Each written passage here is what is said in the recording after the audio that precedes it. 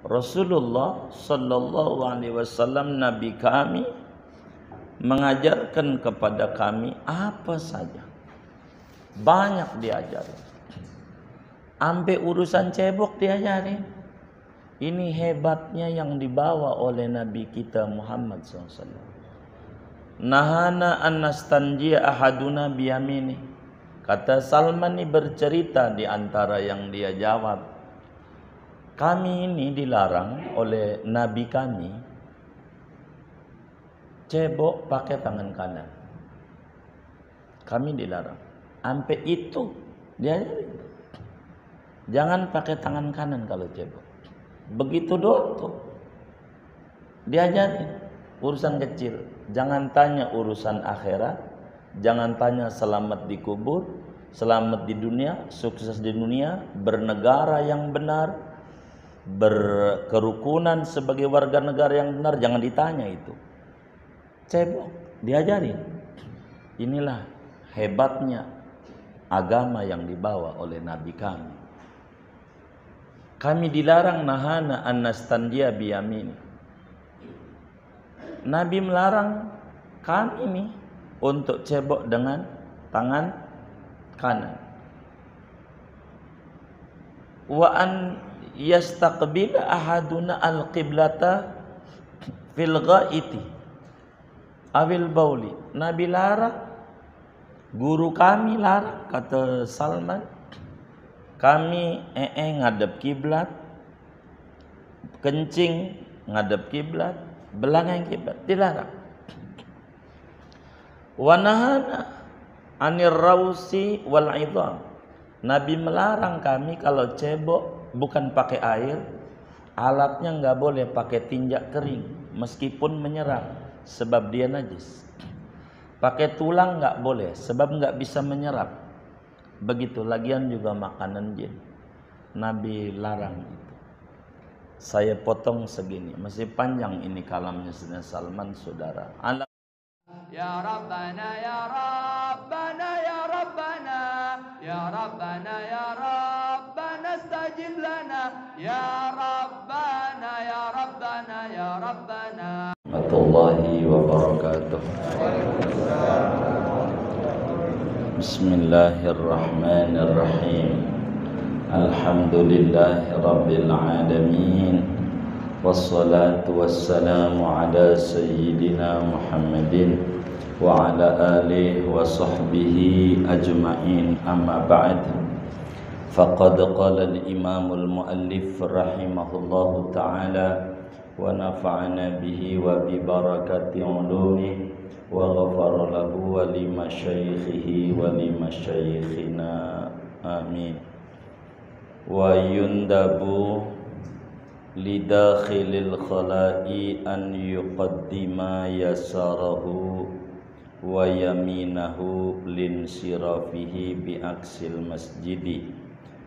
Dan disunatkan bagi orang yang memasuki jamban oleh bahwa mendahulukan ia akan kaki kirinya wa yaminahu dan mendahulukan akan kaki kanannya lin sirafihi ketika keluarnya dia dari jamban.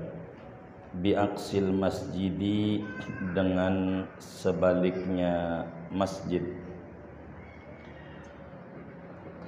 Wa yunahhiya ma alaihi mu'azzamun min qur'anin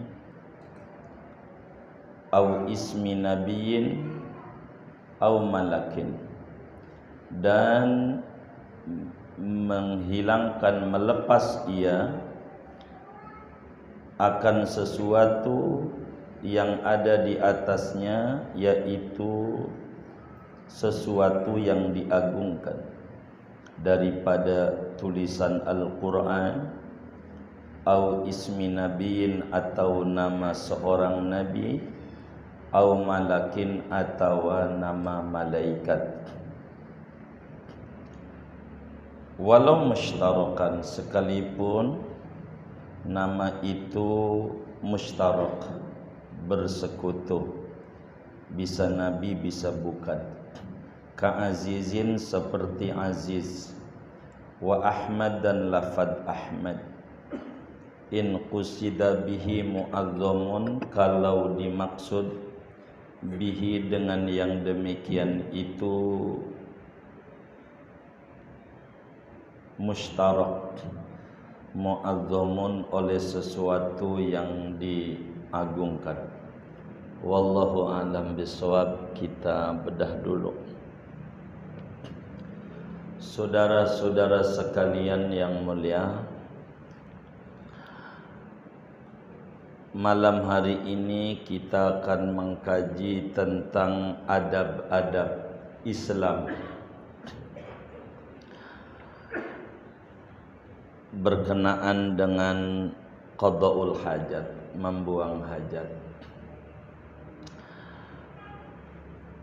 Yang namanya manusia itu saudara hmm, perlu makan, perlu minum untuk melangsungkan kehidupan dia selama masih ada di alam dunia ini. Demi berlangsung kehidupannya maka dia butuh makan dan juga butuh minum makanan dan minuman itu sesudah masuk pada perut kita di samping untuk saripati makanan menjadi energi modal kita menjalani kehidupan ini tapi ada kotoran. Kotoran yang kudu dibuang yang tidak berfungsi buat badan kita. Ada ampasnya ada yang tidak bermanfaat uh, buat kita punya badan. Seperti ee kencing lah begitu. Dan agama kita agama Islam ini adalah dinun kamil, dinun syamil. Islam itu adalah agama yang sempurna dan komprehensif ajarannya. Jadi Islam itu agama yang sempurna dalam berbagai aspek ajarannya. Semua Islam ajarannya sempurna. Yang belum sempurna kita sebagai pemeluknya di dalam mengikuti uh, tatanan Islam. Oleh karena itu Nabi kita hadir di tengah-tengah kita Sayyiduna Muhammad sallallahu alaihi wa alihi wasallam. Di antara misinya adalah takdib uh, mendidik kita. Innama bu'istu li utammima makarimal akhlak Nabi diutus oleh Allah untuk menyempurnakan akhlakul karimah. Berbicara akhlakul karimah Islam mengajarkan dalam seluruh aspek kehidupan diajarkan oleh Islam terkait akhlakul karimah termasuk berbicara kebersihan. Ini dominan karena Islam agama yang berdiri di atas kesucian. Suci akidah suci hati suci badan suci lingkungan dan seterusnya. Karena itu Islam mendorong kita untuk membuang kotoran-kotoran yang ada di badan kita dari sisi lahiriah. Dan kita harus menjaga badan kita agar supaya tetap pada kebersihan. Oleh karena itu diajarkan dalam Islam adab-adab menunaikan hajat dan inilah materi kita pada malam hari ini. Saudara, ini kajian bukan kajian ringan, bukan kajian uh, uh, murahan, bukan, bukan. tapi ini adalah kajian yang sangat tingginya kajian tentang adab-adab saya sebut ee dan kencing. Itu ajaran paling cakepnya ajaran. Sebelum menerangkan lebih jauh nanti kita apa yang akan diatur ini saudara boleh tanya kepada orang Yahudi adakah di kitab suci mereka tertuang ajaran bagaimana aturan dalam agamanya masuk WC bagaimana mau masuknya ketika di dalamnya dan ketika keluar kalau ada di ayat berapa pasal berapa di kitab Talmudnya sebagai kitab acuan orang Yahudi? Demikian pula saudara kita dari Nasrani bisa ditanya kepada teman kita barangkali antum semua bergaul dengan teman-teman Nasrani bisa diajak ngobrol dan ditanya adakah di kitab suci mereka mengatur seperti lengkap dan sempurnanya aturan dalam agama kita agama Islam yang dibawa oleh Nabi Yuna Muhammad sallallahu alaihi wasallam terkait masuk jamban. Bagaimana kalau mau masuk, bagaimana di dalam dan bagaimana di luar. Kalau ada di kitab apa, pasal berapa, ayat-ayat berapa. Di Injil Perjanjian Lama kalau dikata di situ ditanya di kitab Kejadiankah, kitab Keluarankah, kitab imamat, bilangan atau ulangan di pasal berapanya, ayat berapanya menerangkan sampai sedetil apa yang diajarkan di dalam Islam ini. Kalau di Injil Perjanjian Baru, apa di Matius, Lukas, Yohanes, Markus bisa dilihat di pasal berapa ayat berapa coba tunjukkan. Begitu. Begitu agama-agama yang lain, Saudara yang ada Buddha, Hindu, Konghucu. Ini adalah keluhuran ajaran kita. Maka bukan ajaran sembarangan terkait dengan materi yang akan kita bedah pada malam hari ini dan beberapa hari ke depan ini uh, nampaknya masih kita berbicara tentang itu. Di dalam kitab Sahih Muslim, saudara, juga Imam Abu Dawud juga riwayatkan. Hmm, Tirmidzi juga meriwayatkan. Dari Sayyidina Salman Al Farisi, seorang sahabat Nabi, jadi mantan penyembah api Majusi, pindah menjadi Yahudi, pindah menjadi Nasrani akhirnya ketemulah dengan agama yang hak di usia beliau 90 tahun.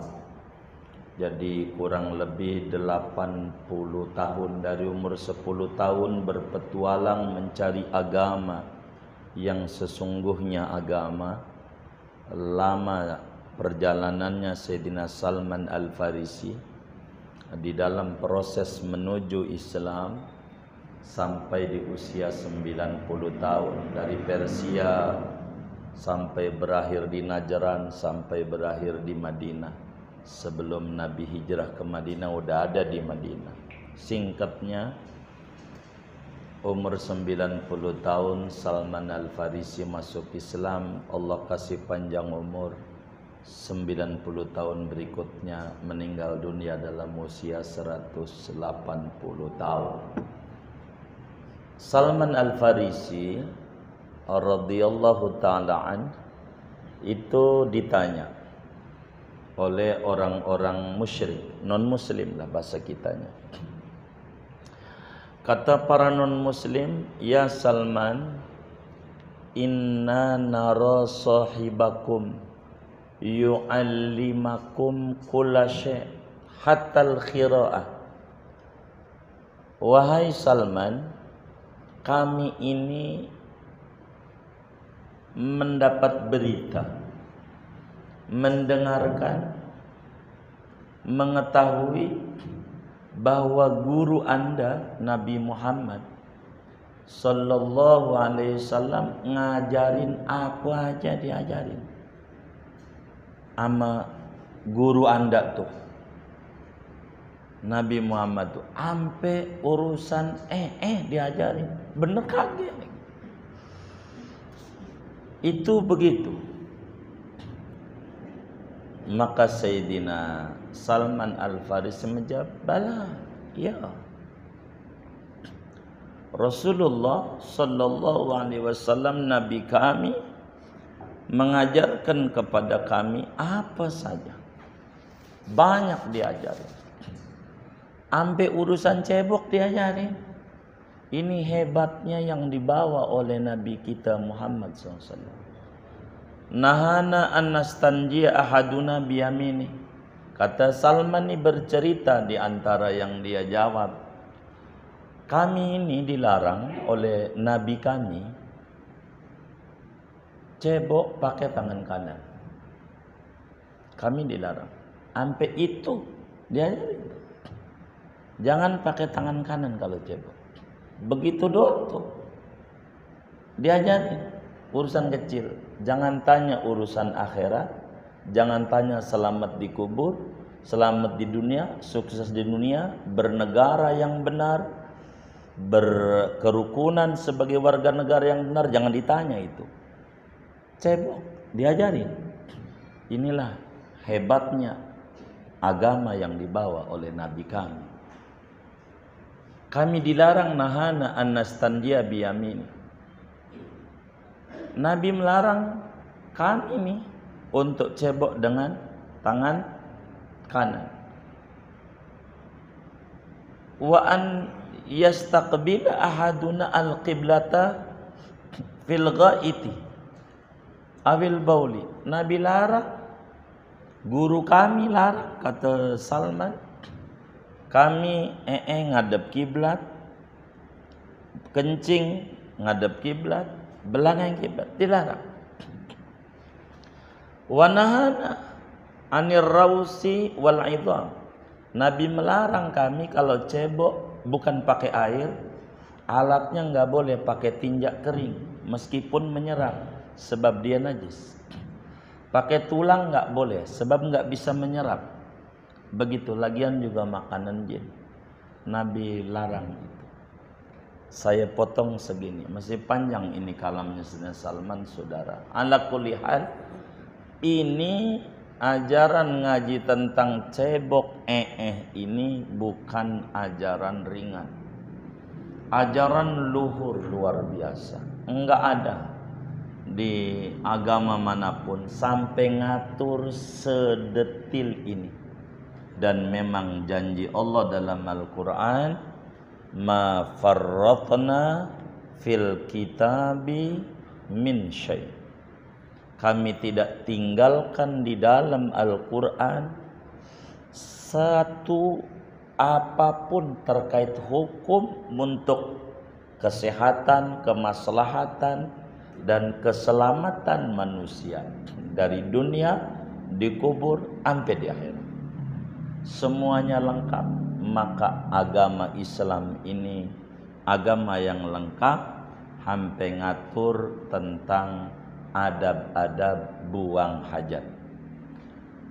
Saudara sekalian, berbicara buang hajat ini adabnya ada banyak.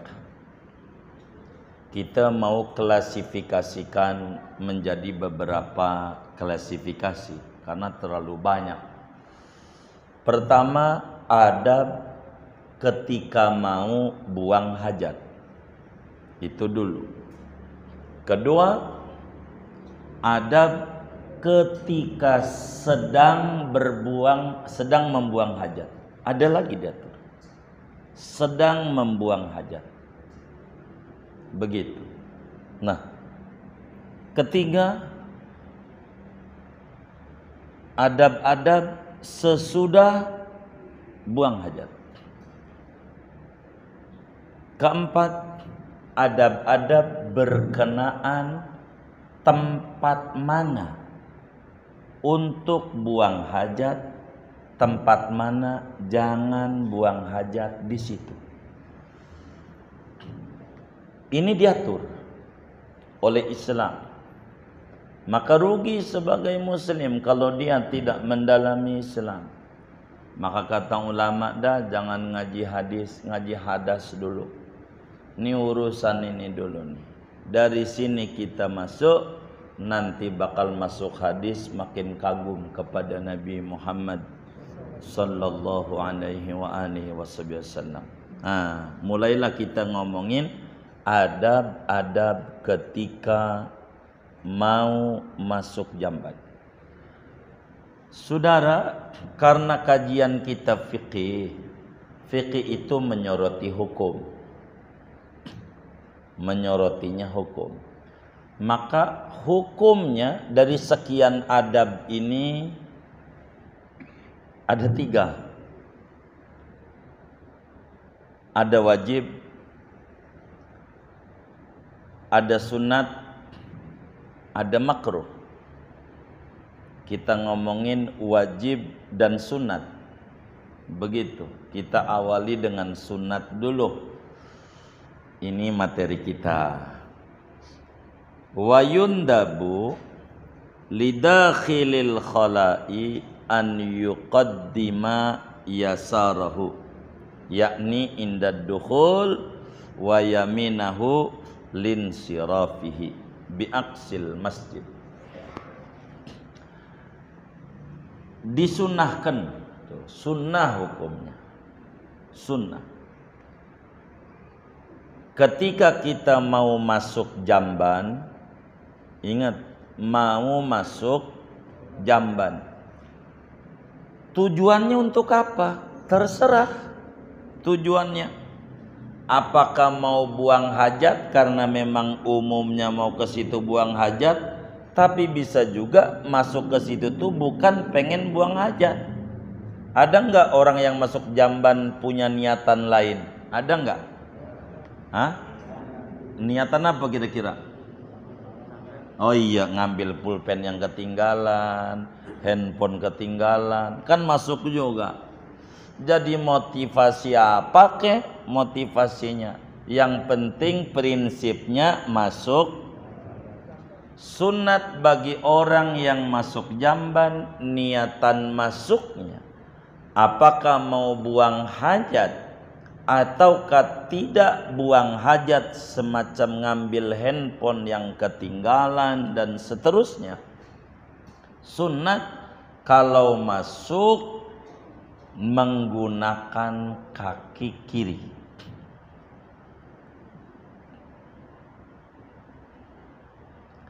Dan ketika keluar menggunakan kaki kanan.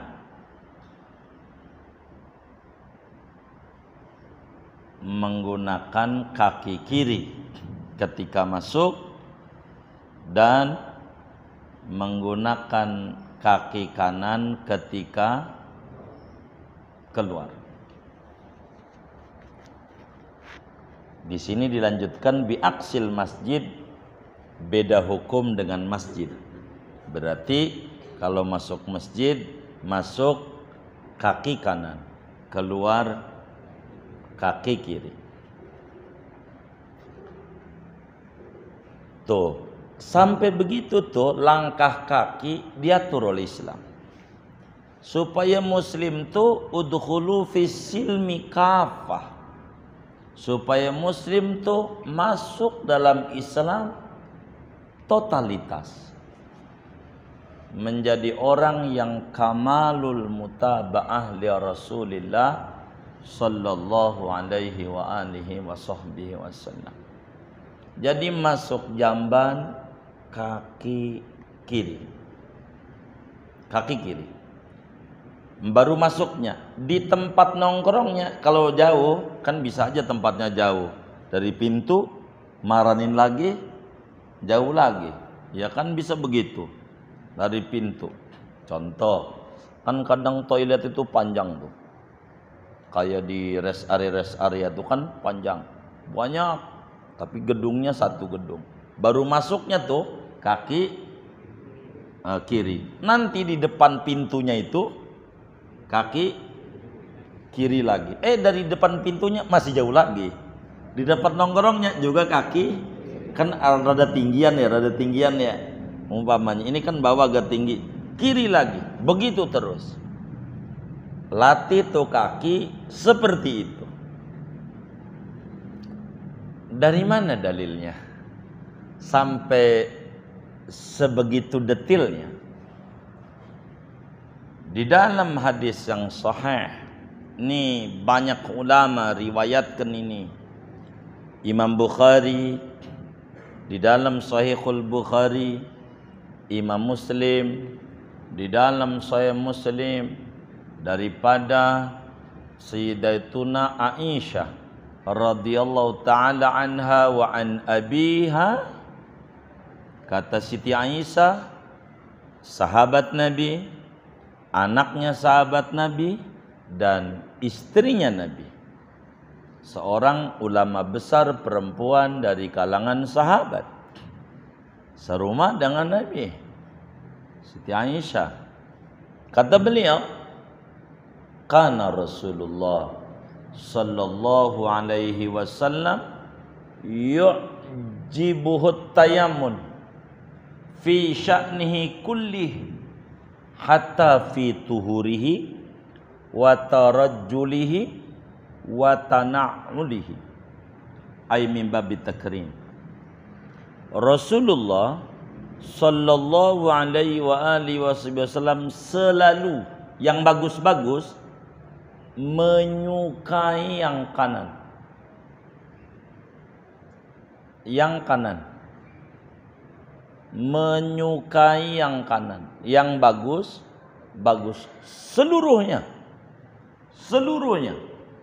Ampe urusan bersuci bersuci itu meliputi wudhu mandi ante urusan kita nih bebersih eh eh buang hajat. Watarajulihi nyisir. Urusan rambut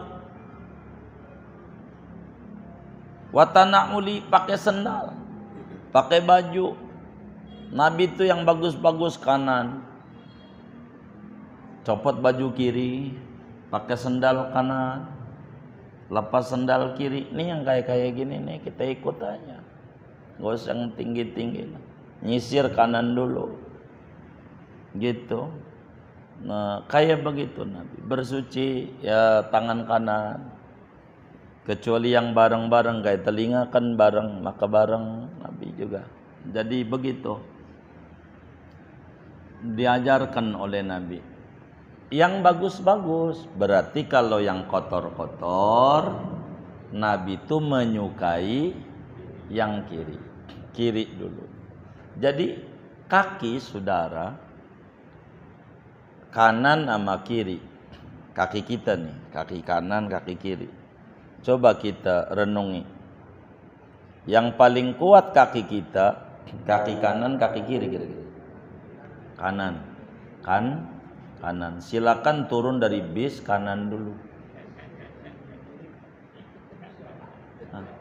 Jadi kaki itu yang paling kuat kanan apa kiri? Hah? Iya, ini, tinggal dijawab. Kanan apa kiri? Kiri. Alhamdulillah. Kaki itu yang kuat kiri. Yang kuat kiri. Makanya Jepang aja, Jepang. Naruh standar motor tuh di kanan apa di kiri? Eh, emang kuatan kiri. Itu dibilang begitu. Kuatan kiri. Begitu. Kiri. Kenapa ada orang masuk toilet tuh dia jatuh pembuluh darahnya akhirnya pecah bermasalah dah jatuh di kamar mandi. Kalau mau direnungi penyebabnya satu dia melanggar ajaran nabinya. Itu aja. Penyebabnya cuma satu. Apa? Melanggar ajaran nabi. Masuknya kanan, kepleset jatuh. Kalau kiri kuat, maka dengan kiri kepleset, kanan siap untuk bantu. Itu begitu. Itu begitu. Maka sudah diatur Islam. Kiri. Jadi kita nurut aja.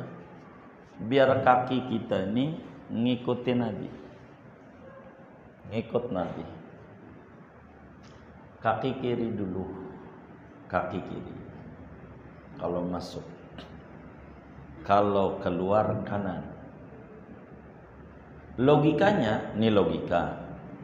Kamar mandi itu, jamban, itu licin. Apalagi merbot masjidnya disuruh-suruh doang dikaji gagak. Ada nggak yang kayak begitu tuh? Saya omelin nih malam ini. Nah, bagaimana ini? Jangan sampai disuruh-suruh doang digaji kagak. Itu kalau dia licin jatuh lebih mahal biaya di rumah sakitnya. Rapihin. Masalahnya kata yang bebersihnya, saya diomelin doang, tapi kagak digaji. Waduh, gaji juga. Jangan nggak digaji, gaji. Begitu, gaji. Kita bantulah. Kotak-kotak amal masjid tuh kalau Jumat Jangan pura-pura merem. Diisi. Buat begitu-begitu tuh. Jangan kita bisa ngambil nih masjid nih jorok. Jorok doang. Iya, bantu kagak. Gitu jangan Bantu. Pusing juga pengurus masjidnya, jangan-jangan ya kan? Begitu. Bahkan kalau ada yang kaya-kaya mah ini di antara teman-teman majelis nih kalau sampai besok lusa Allah kasih duitnya banyak gitu ya. Rezekinya luas. Niatin lomba uh, merbot masjid yang rajin ngebersihin masjid di umroh. Gitu. Di lingkungan kita tinggal aja dah. RW berapa uh, kalau sekeluruhan banyak masjid ya? Banyak ya? Kebanyakan. Yang dikit aja kasih. Biar girang biar orang berlomba-lomba masjidnya bersih. Dan juga sebagai hadiah. Itu begitu jadi kaki kiri kamar mandi ini licin licin kaki kiri itu kuat napaknya jadi kalau kepleset kanan siap bantu tapi kalau kanan kurang kuat. Ketika kanan kepleset, kiri nggak kuat nopang. Makanya Nabi masuk jamban kaki kiri. Jadi kalau masuk masjid kanan, kalau masuk rumah, rumah bagus, mulia. Rumah kan disebutnya maskan bahasa Arabnya. Tempat penuh ketenangan. Sakinah itu dari maskan. Jadi maskan tuh makan sakinah. Maka masuk rumah tuh kanan. Keluar rumah kiri. Keluar rumah tuh kaki kiri. Keluar rumah kaki kiri. Keluar rumah kaki kiri. Kalau kita keluar rumah nggak jelas begitu. Maka kita suka nyalain. Nih Gojek nih ngebit salah kalah mulu kalah. Iya kakinya ini nggak nggak teratur. Nah, jadi dagang nih kurang. Ikuti aja ala Nabi yang diajarkan ini. Jadi kanan kalau masuk ke rumah, keluar rumah kiri. Keluar rumah kiri. Keluar rumah kiri. Jadi nampaknya kalau terus kita telaah Nabi itu enak. Gitu. Jadi kan kita depan rumah. Nyopot sendal. Nyopot sendal mana dulu? Ya Allah jazakumullah khair. Nyopot sendal mana dulu? Kiri. Maka habis kiri uh, kanan. Habis kiri kanan. Maka masuknya kanan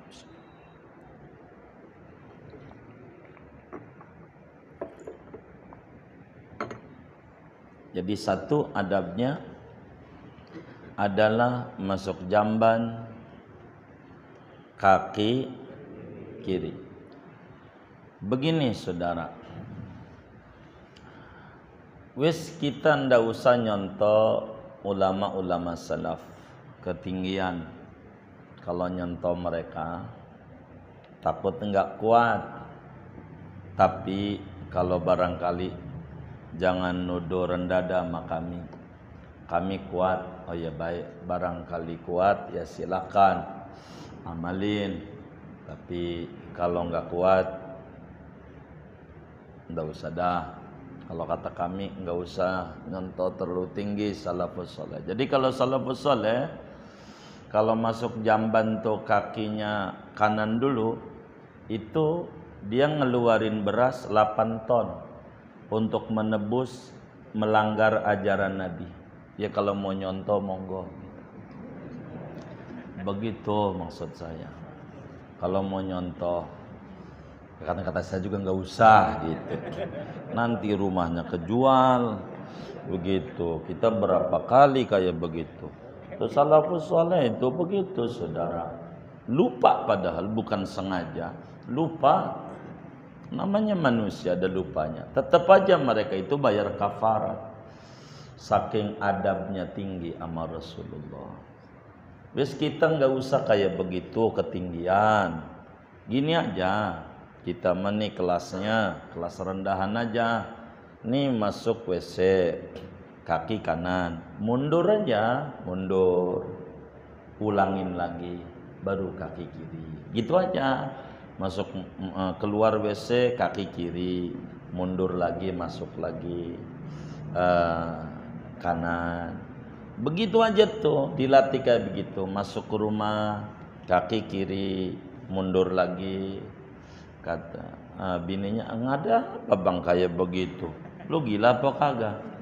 Gua gila sama ajaran Rasulullah yang luar biasa hebat. Ini kaki belum benar ngikut Nabi kata Nabi kanan dulu wis begitu aja dulu dilatih dengan begini nih ndak usah yang tinggi-tinggi banget bagi kita ngikut Nabi ini terlalu tinggi yang lain-lain Wis dari yang rendah-rendah dulu. Begitu. Adab-adab Islam ini tidak dimiliki oleh agama mana pun benar-benar. Benar-benar. Enggak ada diatur sedemikian ini. Karena Islam itu bukan agama buatan. Bukan.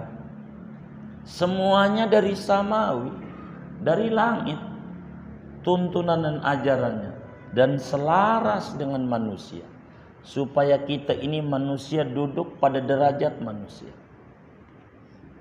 Kita jangan beranggapan begini. Emang juga kaki kiri lebih kuat dibanding kaki kanan. Enggak usah. Biar kaki kanan kita lebih kuat dari kaki kiri menurut kita. Buang itu. Ikuti Nabi. Karena itu baru ngikut Nabi yang sempurna. Begitu.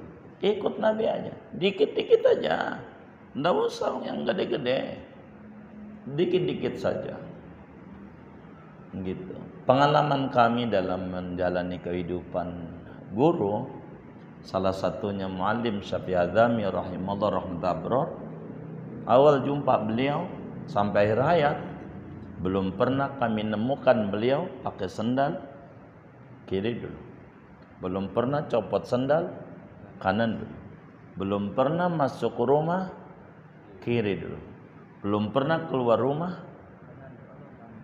kanan dulu.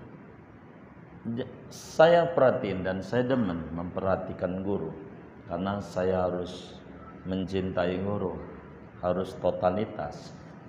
Enggak boleh saya harus ikut guru. Itu begitu. Jadi apanya aja begitu, apanya aja, hatta cukur Bu Malim Sabiadami. Dulu ada adiknya namanya Sofwan. Panggilannya Om Apung kami panggilnya. Karena kami ada di rumah Mualim masalahnya. Lama. Begitu. Uh, syukur nggak boleh dari apa ini, uh, ini kiri kanan dulu pung kanan dulu kanan dulu ambil begitu ya Rabbana ya Karim Semoga Allah tinggikan derajat guru kita dan kita dapat barakah dari ilmu-ilmu beliau. Amin Allahumma amin. Kemudian yang kedua, adab Islam saudara, kita kudu melepas tulisan benda apa saja yang mulia, yang agung. Apa Quran, apa nama Nabi, apa nama Allah, apa nama malaikat, ndak boleh kita bawa ke dalam WC, enggak boleh. Dibawa ndak boleh, jangan bawa. Jangan ada. Makruh sih, makruh, makruh dong. Tapi ini adab sunnah. Disingkirin, maknanya jangan bawa. Makruh kalau bawa. Kan bawa cincin, apa aja dah baju kaos yang ada tulisan-tulisan yang mulia tidak boleh. Yang ada tulisan-tulisan yang mulia. Kadang ibu-ibu kita kan suka bikin cincin tulisan Allah liontin Allah. Kalau kami nggak usah lah walaupun kita muslim pakai liontin Allah. Repot kalau pipis segala macam tuh. Copot lagi gitu. Kalau lakinya kaya kalau kagak kan kalau hilang tinggal minta sama lakinya. Kan kaya lakinya ya kan gitu. Lakinya sih emang emas emang dari Jawa ya kan? Gitu. Tapi kan ya Allah nggak punya biar kata emas juga lakinya. Jadi nggak boleh begitu. Nggak usah pakai gitu. Jadi nggak boleh. Jangan bawa. Jangan bawa. Dari mana dalilnya ini di dalam hadis yang sahih diriwayatkan oleh Imam Tirmizi di dalam Sunan Tirmizi, Ibnu Hibban di dalam Sahih Ibnu Hibban, juga Imam Al-Hakim di dalam kitab Al-Mustadraknya, Abu Dawud di dalam Sunnah Abu Dawudnya dari Sidina Anas bin Malik radhiyallahu taala an. Karena Anas khadimnya Rasulullah SAW kata beliau kana Rasulullah sallallahu alaihi wasallam Ida dakhalal khala'a wada'a khatamah. Nabi itu kalau mau masuk jamban dicopot cincinnya. Cincinnya Nabi dicocok, dicopot. Nabi itu pakai cincin. Jadi sunat kita orang pakai cincin. Sunat gitu, pakai cincin. Jangan nggak pakai. Pakai cincin. Ya niatnya ngikut Nabi, niatnya. Kalau kita ini belum kuat niat ngikut Nabi, gitu. Saya mau buat bedain aja di Ragunan itu ada makhluk Allah jarinya 10, nggak pakai cincin. Ya, masa saya sama dia, maka biar beda pakai cincin saya. Biar beda sama dia. Jangan catat. Jadi Nabi itu pakai cincin. Cincinnya mau terserah matanya apa kita begitu. Nabi senyuruh banyak hadisnya dalam kitab uh, Al-Khawatim Wahkamuha Ibnu Rajab Al-Hambali tulis kitab tebal tentang tentang cincin dan banyak sekali. Pakai cincin. Nah cuman kalau cincinnya Nabi tulisannya tulisan yang mulia Muhammad Rasulullah. Tulisan cincinnya Muhammad Rasulullah jadi berbentuk tiga, suka dijualan tuh kalau ada maulid-maulid tuh. Cincin nabawi, khotam nabawi. Jadi Muhammad atasnya, tengahnya Rasul, bawahnya lafad Allah. Bentuknya bundernya itu begitu. Jadi tulisannya tiga baris. Muhammad Rasulnya enggak sebaris. Muhammad Rasul Allah dalam lingkarannya itu. Tuh namanya. Maka dicopot. Maka Imam Hakim Rasulullah itu cincinnya itu gitu cincinnya itu tulisannya tulisan mulia maka dicopot begitu begitu cincinnya. Kalau saudara pakai karet-karet gelang, plastik gelang gitu, nggak usah itu mah. Iya, kayak kayak begitu mah. Begitu, plastik begitu. Jadi cincin apa aja begitu Al-Qur'an. Jangan bawa. Jangan bawa. Bawa ke situ jangan. Begitu. E, karena apa? Itu namanya yang diagungkan. Kata Imam Adra'i haram hukumnya. Apalagi musab. Imam Adra'i khawatir najis yang kayak begitu. Nama Nabi, nama Muhammad, bikin kaos I love Muhammad. Begitu. Begitu. Jangan. Walaupun tulisan Latin kata Syekh Nawi Al-Bantani di dalam kitab Maraqil Ubudiyah, walaupun tulisannya bukan Arab. Walaupun di bajunya tulisan I love Muhammad. Begitu. Begitu. Jangan. Jangan bawa ke situ. Jangan. Copot dulu dah. Begitu kayak begitu. Jadi repot emang. Kayak begitu. Jangan. Nama malaikat Jibril. Begitu. Ridwan. Kan nama malaikat. Namanya Mustarok, ada juga Ridwan tukang tahu. Tapi kan ini nama agung nih. Kalau di maksudnya Ridwan ini maksudnya nama malaikat yang ada di sur kalau yang mustarok dilihat niatnya apa dia? Niat. Lari ke niat. Nama ulama. Tidak usah. Hmm, masuk-masuk ke situ. Begitu. Uh, masuk-masuk. Yang kayak-kayak begitu. Walau mustarokan sekalipun ini bisa ke sana kemari maknanya. Mustarok tuh satu kata bisa multi arti seperti lafad aziz. Aziz itu kan bisa nama Allah Al-Aziz. Bisa juga Aziz ini nama raja di Mesir. Aziz juga. Sebutan raja di Mesir sebutannya Aziz. Ini namanya bisa nama Allah, bisa uh, nah, panggilan raja di Mesir, Aziz. Seperti Ahmad. Bisa Nabi Muhammad, bisa juga Ahmad tetangga kita. Begitu. Ini ada tulisan Ahmad. Tidak usah dibawa. Ini dijaga. Tempat-tempat yang mulia tuh. Kayak begitu. Makruh. Begitu. Makruh. Itu kayak begitu. Mana lagi enggak disebut nih di sini nih. Adab kita ke jamban tuh. Uh, tutup pala. Pala kita ditutup Jangan itu mau kencing picinya dibuka.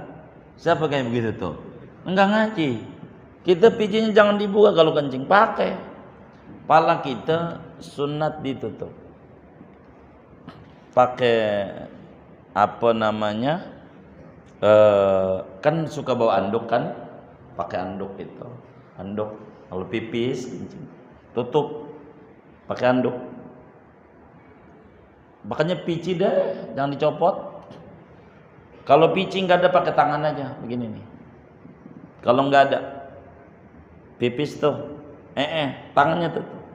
Jangan nggak ditutup pala kita, jangan. Tutup. Nabi begitu, begitu Nabi. Kita harus nyontoh Nabi, begitu. Pakai sandal, pakai sandal, kasih sandal. Di hotel aja kasih sandal hotel. Ada sandal hotel. Mau ke kamar mandi kasih sandalnya. Yang kagak ada bawahannya biasanya. Sandalnya itu. Itu diajarkan itu sama Nabi. Yang pakai mereka. Masa kita yang ada maulid kagak makai ini?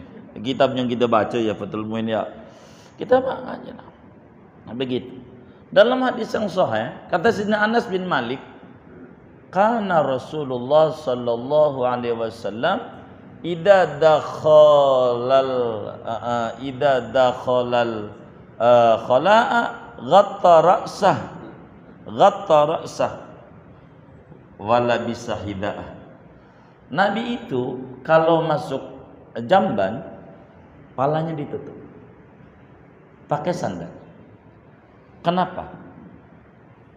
Sebab ini nih di kamar mandi ini bukan ajaran sembarangan. Ini makom kehambaan kita dituntut di sini oleh Allah. Ini ada Islam di kamar mandi. Ada keluhuran Islam di kamar mandi. Kita kudu ngagungin Allah di kamar mandi ini dengan cara mempraktekkan ajaran Rasulullah SAW. Begini saudara, kita ini harus membayangkan bagaimana kalau kita enggak eh, enggak bisa eh, eh. Berapa ongkos yang harus kita buang? Berapa duit yang harus kita keluarkan? Bagaimana sakitnya perut kita didodet? Operasi namanya. Gara-gara enggak kencing, enggak ee. -e. Berapa? Maka kita bisa ee -e ini nikmat besar dari Allah. Nikmat besar dari Allah. Maka kita enggak boleh lupakan Allah. Di sini nih makom di mana kita harus sadar dan kita harus paham bahwa wa ma khalaqtul jinna wal insa illa liya'budun. Kita dicipta oleh Allah nih untuk beribadah. Cuman kenapa mondar-mandir ke jamban? Ini karena salah konsep. Illa liya'kulun. Illa illa liya'kulun. Kecuali untuk mak makan tandanya ee mulu, malu. Makanya kenapa pala harus ditutup? Malu sama Allah. Bukan kemari. Tuhan ciptakan kita bukan untuk mondar-mandir ke jamban. Tapi untuk mondar-mandir ke tempat-tempat yang baik. Maka ditutup itu dalam rangka kita malu kepada Allah Subhanahu wa taala karena kita mondar-mandir ke situ mulu. Padahal bukan untuk ke situ Tuhan ciptakan kita dan hadir di jagat raya ini. Ditutuplah kita punya punya pala ini. Punya pala ini kudu ditutup. Jangan enggak enggak ditutup. Kemudian nanti di depan bakal diterangkan oleh Fatul Muin baca doa. Baca doa sebelum masuk. Ya, kita masyurlah hadisnya banyak di berbagai kitab ada. Abu Dawud, Tirmidzi, Nasai hampir semuanya ulama punya Allahumma inni a'udzubika minal khubusi wal khabaisi. Ada dua, ada bismillahi dulu. Bismillahi Allahumma inni a'udzubika minal khubusi wal khabaisi. Ada juga riwayat daripada Abi Umamah doanya dari nabinya Allahumma inni a'udzubika minar rijisin najisi al khabisil mukhbisi asyaitonir rajim itu Imam Ghazali ajarkan di dalam Bidayatul Hidayah kayak begitu. Intinya jangan gak doa. Allahumma inni a'udzubika minal khubusi wal khobaisi. Ya Allah, aku berlindung kepadamu daripada setan laki dan setan perempuan. Namanya ini doa, doa perlindungan dari set setan. Ini kamar jamban ini tempat set setan. Kita kudu banyak berlindung bahaya. Bila kita masuk kamar kecil menggunakan kaki kanan, imbasnya menyebabkan dagangan kita rugi, menyebabkan hidup kita miskin. Ada hadis. Riwayat daripada Imam Tirmidzi dari Abu Hurairah radhiyallahu taala kata Rasulullah sallallahu alaihi wasallam man bada'a birijlihil yumna inda dukhulil khala ubtuliya bil faqri siapa yang masuk jambannya kaki kanan akan termusibahi dengan miskin.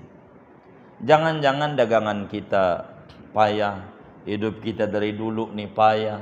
Mungkin karena itu juga salah satunya sebabnya. Kaki kita belum nurut, masih belum jelas masuknya kanan dulu apa kiri dulu. Suka-suka kita. Jangan-jangan begitu ya.